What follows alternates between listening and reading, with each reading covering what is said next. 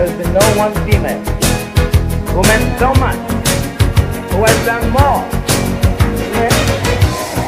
love.